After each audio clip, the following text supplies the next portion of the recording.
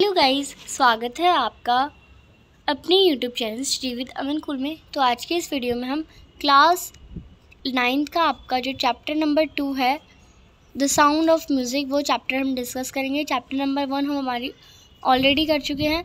अगर आपने वो नहीं देखा तो वो भी देख सकते हैं। Chapter number two sound of music में दो पार्ट है। एक एवेलिन ग्लैनी का और एक बिस्मिल्ला खान का।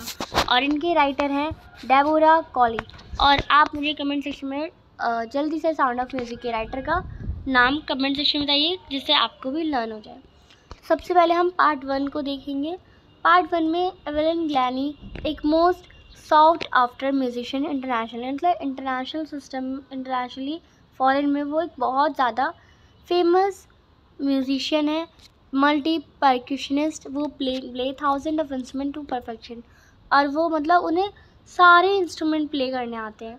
सरप्राइजिंगली यानी अचंभित की बात ये भी है कि she achieve this settle in spite of a disability and she found to profoundly deaf यानी, आप देखिए, वो बचपन से ही डिसेबल हैं डिसेबल है, वो सुन नहीं सकते हैं वो डीफ हैं, बहरी हैं वो, और वो सारे ही इंस्ट्रूमेंट प्ले कर सकते हैं। सारे इंस्ट्रूमेंट को अगर वो प्ले कर रही हैं, सुन नहीं पा रही वो खुद तो कैसे प्ले करती हूँ? तो ये कैसे म्यूज़िक को फील करा जाता है? चैप्टर भी आपका यही है sound of music but she learn to listen with body instead of the ears अब वो गाने को, सुरों को, वो अपनी बॉडी पे महसूस करती है।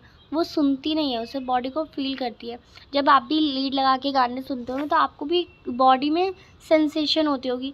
जो सारी सेंसेशन है, वो दूर होती होगी। तो एकदम पीस जैसा लगता है, वैसे वो बॉडी से अपने गाने को सुनती थी। She feels the sound through her body Evelyn was eleven years old जो एवेलिन है वो ग्यारह साल की हैं। When it was discover that she had a hearing problem और तभी उन्हें पता चला था कि उन्हें हेयरिंग प्रॉब्लम है। यानी मम्मी पापा बोलते होंगे ऐसे देख देख के।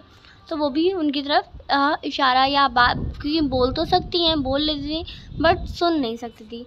She wanted to pursue her career in music but her teacher discouraged यानी उन्हें म्यूज़िक में अपना करियर बनाना था बट उनकी टीचर ने उन्हें डीमोटिवेट कर दिया।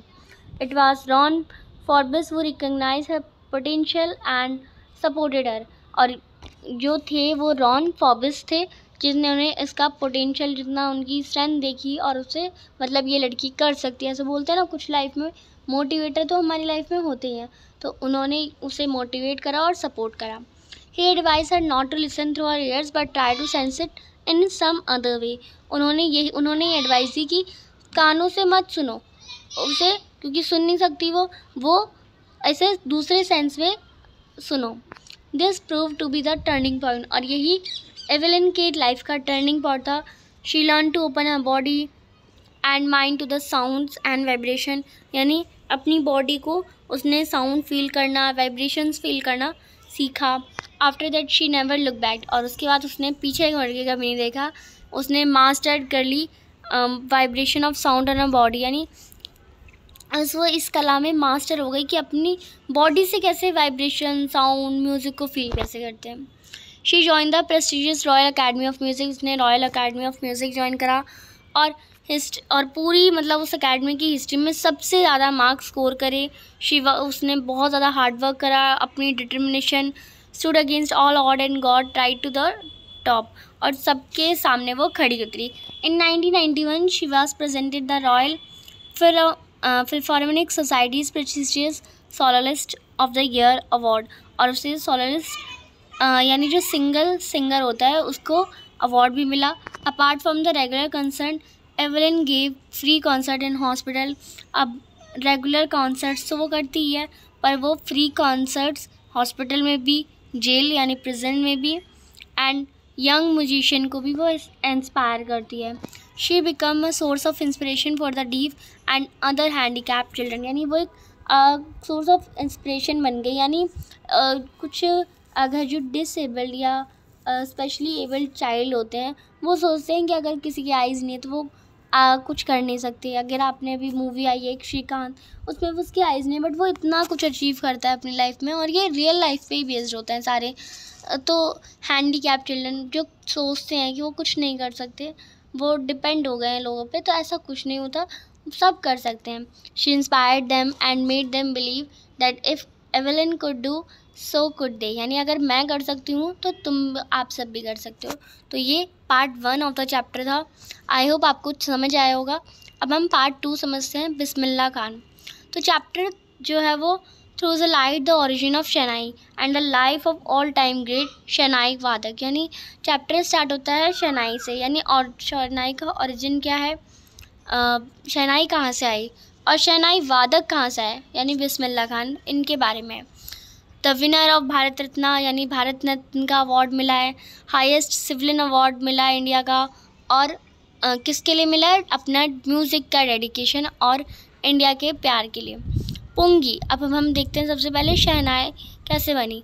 तो पुंगी नाम का एक इंस्ट्रूमेंट था जो कि एम्प्रर औरंगज़ेब ने बैन कर रखा था। मतलब ये कोई भी नहीं बजाएगा। Because of its shrill and unpleasant sound क्योंकि उसमें बहुत बेकार सी आवाज़ है। अगर वो बजाते थे ना तो बहुत सर दर्द देने वाली आवाज़ होती थी। In fact it was regarded more of noise maker rather an musical instrument तो उसे सब कहते थे कि यस ये तो बहुत ज़्यादा शोर मचाती है म्यूज़िकल इंस्ट्रूमेंट कैसे हो सकता है? बट फिर ये मॉडिफाइड करी गई, यानी इसे ठीक करा गया परफेक्ट करा गया एक बार के द्वारा, जो कि एक प्रोफेशनल म्यूजिशियन फैमिली से बिलोंग करता था।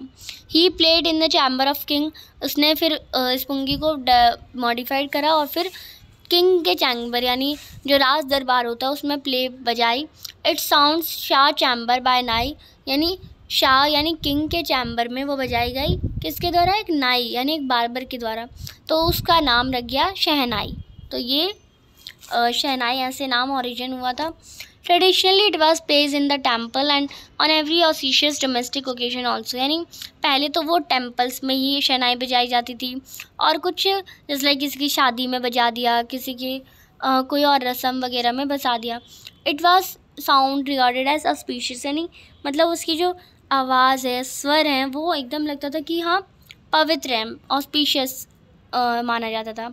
It was treated as an incomplete musical instrument not capable of creating independent pieces but Bismillah Khan broke this myth. यानी ऐसा लगता था कि आ, सब मानते थे कि ये तो बस थोड़े थोड़े ओकेशन में ही बजाने वाली है और इसका कोई यूज़ नहीं है। बट बिस्मिल्ला खान इन्होंने इस मिथ को भी इस झूठ को भी आ, ये जो लोग इसे सच मानते थे इसको भी तोड़ दिया। बिस्मिल्ला खान बनारस से बिलोंग करते हैं जिसे हम आज के समय पे वाराणसी कहते हैं। घर घराने से बिलोंग करते हैं। वो 1916 में डुमराव डुमराव बिहार में एक जगह है, वहाँ पे पैदा हुए थे। From five years of age he use to visit the Bihar ji temple और पाँच साल की उम्र से वो बिहार जी टेंपल में जाते थे और भोजपुरी में चेता एक टाइप का होता है, उसे गाते थे। For his melodious singing as a child he use to earn a big laddu from a local Bhojpuri king यानी उनकी इतनी प्यारी आवाज़ थी तो उन्हें मतलब वो गाना गाते थे तो उन्हें छोटे बच्चों का कुछ गाते तो कुछ पैसे वैसे देते ना तो उन्हें एक लड्डू मिलता था वहाँ के भोजपुरी किंग से। और छः साल की उम्र में वो बनारस यानी वाराणसी शिफ्ट हो गए।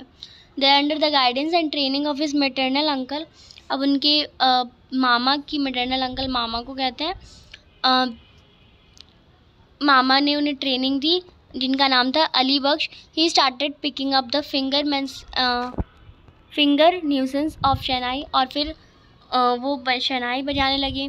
He use to spend of the most of the time practising on the bank of river Ganga यानी वो अपना ज़्यादातर टाइम अपना गंगा की गंगा नदी के पास प्रैक्टिस करते हुए बिताते थे। The theme of his music were deeply affected by the sound of flowing water of the Ganga. यानी जो गंगा की जो बहने का जो आवाज़ है, उससे ज़्यादा प्यारी आवाज़ उनकी शहनाई बजाने की थी। He got the best performer award all India music conference in Allahabad Allahabad 1930 में उन्हें best all India music conference का अवार्ड मिला था।